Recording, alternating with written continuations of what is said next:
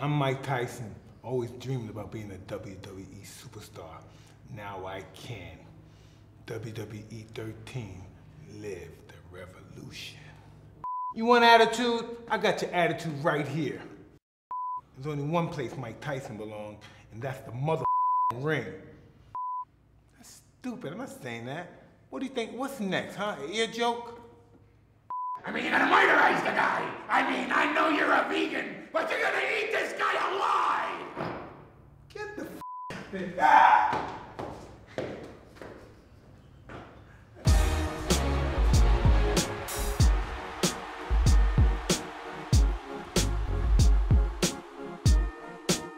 beautiful guys. You know, um, I didn't know them back then, but I was just, listen, man.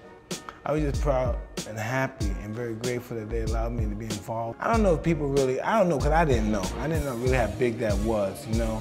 I just did it, like, again, for my self-grandeur. I wanted to be with them and on television with them when they see me and think I'm somebody worship me. That's one of my prolific uh, moments in life. And I'm been on top of D-Generation X and I'm always giving the, the crotch chop. Being with Custom Model and stuff, um, this is real This is funny, right? Implicitly.